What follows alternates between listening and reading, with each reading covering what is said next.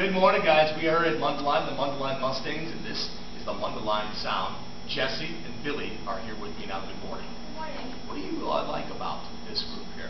My favorite part about show choir is competition season. We get to wake up early and spend all day together performing, and we get to meet a bunch of people from all over the country who do the same thing we do. And the popularity of the group kind of coinciding with the show. Is the show relatable at all to the league I'm talking about? Well, yeah, but it's not like exactly what happened. To some degree, right? Yeah. Yeah, to some degree. All right. Well, let's uh, watch you do what you do best. If you would, please take it away.